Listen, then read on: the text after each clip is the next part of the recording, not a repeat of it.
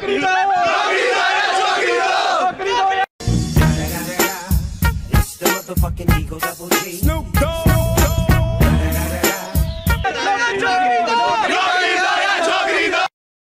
जी, जैसा कि आप देख सकते हैं इस वीडियो में कि सीयू के छात्र कितनी छोटी सी मांग कर रहे हैं। अगर आपकी सरकार सत्ता में आती है तो आप इन सीयू के छात्रों के लिए नौकरी देंगे या छोकरी।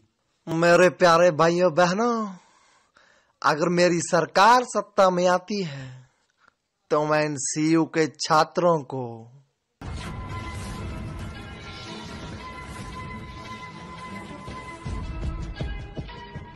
नौकरी दूँगा। क्योंकि नौकरी है, तभी छोकरी है।